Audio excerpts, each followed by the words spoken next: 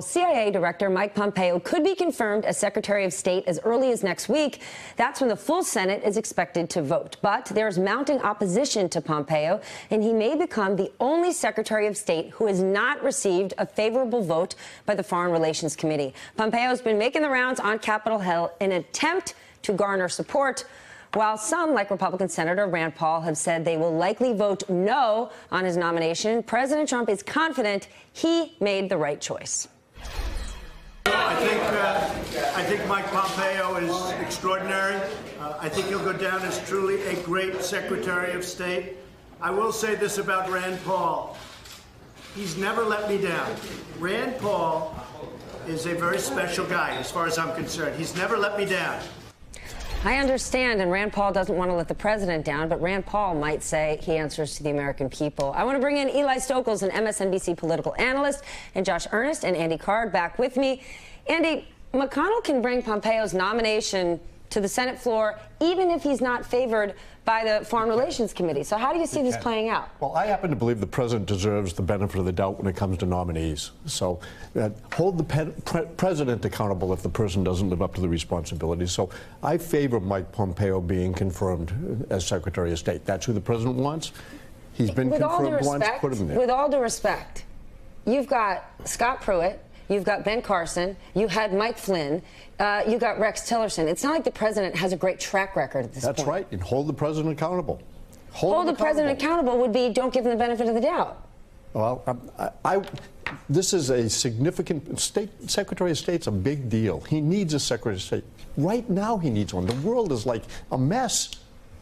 Okay, he then. Needs a secretary Then do, are Democrats backed into a corner here with regard to Mike Pompeo? He did just have this meeting with Kim Jong Un. If if he's not confirmed, does that set us back in terms of our, our, relations there? Well, I recognize that, that certainly is the argument made by the, uh, Trump and his loyalists on Capitol Hill. Uh, the problem is, I think that has to be undermined by the fact that President Trump fired the Secretary of State that was advocating negotiations with North Korea nine days after these this diplomatic opening was talked about. So if uh, you know changing horses midstream, if you will, is such a bad idea, Trump is the one who initiated changing horses in midstream here. So I think that's a tough argument for them to make. I think the second hurdle they're going to have to overcome is there are reports that Mr. Pompeo, over the last couple of weeks, as he's been going through these private meetings with senators to talk about his nomination, did not actually disclose, even when he was talking in a classified setting, his trip to North Korea, which I think is going to be problematic. If you're a wavering senator wondering if you can trust this guy with the substantial responsibilities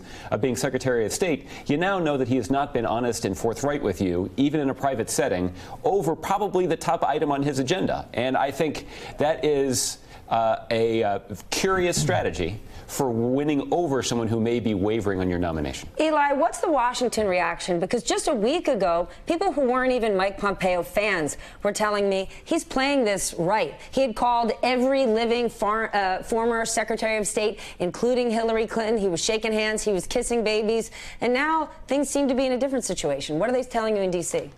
Well, the North Korea trip, the surprise trip over there on Easter Sunday, that is an interesting wrinkle in all of this. And some people view that as an affront to the process, the fact that a person who has not yet been confirmed as Secretary of State is making those overtures uh, to try to lay the groundwork for historic talks before the Senate has signed off on the nomination itself. And then there are other people, though, who look at the high stakes talks that are looming and the importance of that moment as a reason to put a Secretary of State in place. And I think it's worth pointing out that, yes, he's changing horses midstream, President Trump, uh, but Mike Pompeo is someone uh, who people in Washington understand this president may listen to, uh, certainly trust, has a close relationship with him, brought him in to start doing the daily briefings about a year ago, and they have a good rapport. Uh, Pompeo, by all accounts, knows how to talk to the president and get him perhaps to listen. And so, whereas Rex Tillerson was never empowered uh, to really carry out this president's agenda. Whether he was even uh, familiar with or, or, clear about what the president's agenda was is really anyone's guess. Um, people believe that Mike Pompeo, who is closer to Donald Trump, uh, may be someone uh, who, as Secretary of State, can actually fill the role in a way that Rex Tillerson could not. Andy, what does having a working relationship with Kim Jong Un look like? It's people don't necessarily understand who he is and this nation. We're not talking about Emmanuel Macron. This is a guy with 120,000 prisoners. He starves them.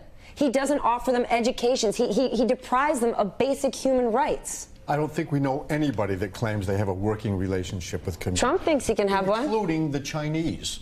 I don't think they have a working relationship with him. I think they support him, but they don't ha- have much of a relationship with him.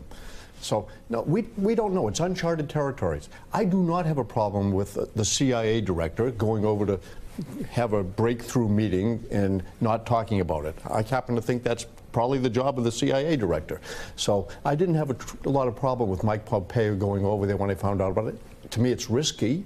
It int- gives him more credibility than he needs, and I He want being to. Un? Yes. Yes. And, and I want to see our government have lots of scenarios before they go over for this meeting with Kim Jong Un.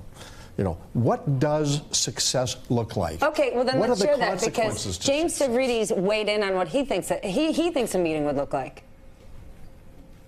I think President Trump somehow feels he will walk in, slap the table like he's selling a building in Manhattan, and walk out the door to collect his Nobel Peace Prize. Ain't going to happen that way. this is going to be a process that has to unfold. And let's remember, he didn't just walk into meetings, slap down a term sheet. He couldn't even get a U.S. bank to bank with him. He's the debtor in chief. The guy went bankrupt four times. And we're talking about Kim Jong un in North Korea here. Yeah, well, the other funny thing about this is that there really is one play in Donald Trump's negotiation playbook, and that is to threaten to walk away from the table. And he's already actually played that He's play just yesterday. but that, but on Pompeo, I I actually don't have any objections either with this, with the CIA director going to North Korea, and it's obviously that intelligence channel that has long been used by American officials, in both in the Obama administration and with the Bush administration, uh, when there were conversations to be had with the North Koreans. I think in this case, what is uh, concerning to me about it is that uh, certainly in the Obama administration, when we dispatched a, a, senior intelligence official to go to North Korea, we would talk to Congress about what the plan was. Uh, it's not apparent that they did that in this case.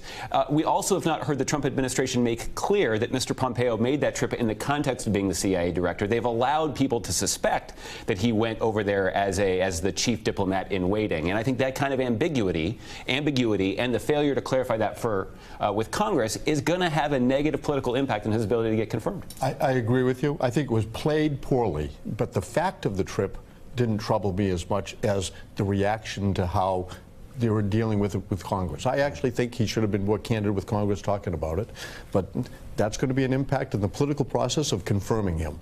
Eli Stokols last point HR bluffing stuff seems to be the only play President Trump has. Does Washington think that's the right way to go with North Korea, given who we're dealing with? Uh, I don't know if Washington is all of one mind on this, but there is concern that, that Donald Trump is going to be the one who decides one way or another on what category, what qualifies as fruitful in these meetings. And he has not been clear and, and really doesn't ever offer a whole lot of clarity about what he thinks that is. He wouldn't answer the question yesterday about whether uh, releasing the prisoners is a precondition to sitting down with Un, uh, and he has not given any real clarity about whether or not the, the U.S. is seeking complete denuclearization of the Korean Peninsula or would settle for something less than that. We should remind our audience there are three Americans still in detainment as prisoners of war in North Korea. Hey there, I'm Chris Hayes from MSNBC. Thanks for watching MSNBC on YouTube. If you want to keep up to date with the videos we're putting out, you can click subscribe just below me or click over on this list to see lots of other great videos.